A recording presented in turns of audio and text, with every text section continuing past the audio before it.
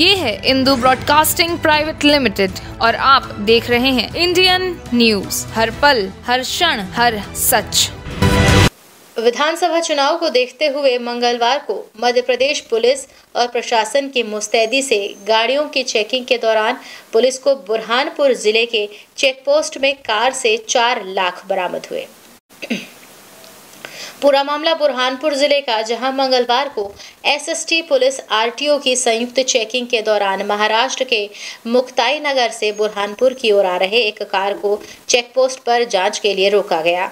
जाँच करने पर कार से चार लाख रुपए नगद बरामद हुए, जिस पर पुलिस और परिवहन विभाग ने नगद से संबंधित दस्तावेज़ नहीं देने पर नकदी जमा कर ली।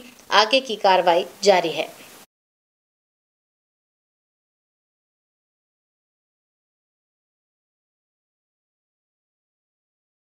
H F seven five one four इसको आज यहाँ पर चेक पोस्ट पे रोका गया, जहाँ एस एस टी जो लगी हुई है और जो यहाँ का स्थानीय बल है, plus R T O barrier की जो पुलिस पुलिस बल है उन सभी के द्वारा एक संयुक्त कार्रवाई की गई है। तो उसमें एक M H zero four H F पिचहत्तर चौदह, इसमें एक इसका चालक है, जो आसिफ हलीक शेख, निवासी बिबरा, रावेर का महाराष्ट्र।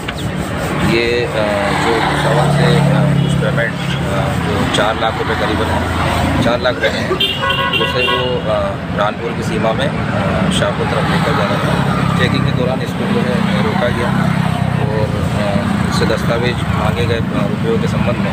इस प्रकार का कोई संतोष है, जिसका उत्तर नहीं है और जो कार्रवाई है, इसमें कार्रवाई होगी। न्यू वीडियोस की अपडेट पाने के लिए सब्सक्राइब करें इंडियन न्यूज़ को और बेल आइकन को दबाएँ।